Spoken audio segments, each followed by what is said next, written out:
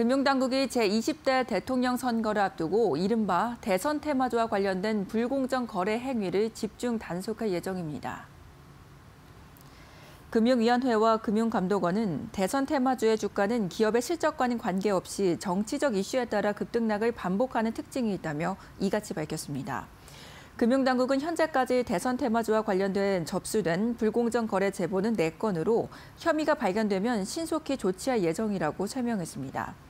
또한 대선 테마주를 포함한 주식 불공정 거래 의심 사항을 발견해 신고할 경우 제보 내용이 정확하고 중요하다면 최대 20억 원의 포상금이 지급됩니다.